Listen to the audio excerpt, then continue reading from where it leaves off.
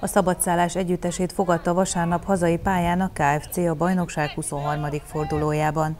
A mérkőzés kezdetben úgy tűnt, reményeink szerint alakul, hiszen csapatunk egy nóra vezetett, azonban ellenfelünknek sikerült egyenlítenie, így három pont helyett csak egyet sikerült itthon tartani a Kohány Balázs játékosainak. Megszereztük a vezetést, utána értetetlen módon teljesen szétesett a játékunk, továbbra se értem, hogy ez, ez miért van.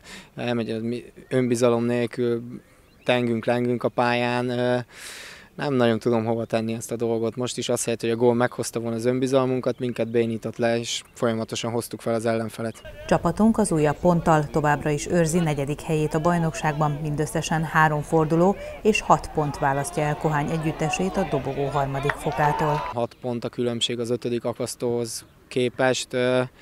Ezt jó lett volna most növelni, sajnos nem sikerült, van még három meccs, igazából az lesz a cél, hogy ezt a helyet megtartjuk, de hát bízom benne, hogy, hogy ez sikerülni is fog. A folytatásban ismét egy nagy feladat vár a Kalocsai FC labdarúgóira, ugyanis idegenbe utaznak a fiúk méghozzá május 19-én Hartára. Ráadásul egy jó formában lévő Hartához, akik remek, remek tavaszt futnak, biztos, hogy helyezik ránk a fogukat, hiszen ugye itt egy 8-as mértünk rájuk, biztos, hogy ennél sokkal jobb és sokkal többet kell nyújtanunk, ha ott eredményesek szeretnénk lenni. Harta után két hazai meccs vár a fiúkra, május 25-én a Kasztó, majd június 1-én Kelebia együttese érkezik majd a KFC otthonába.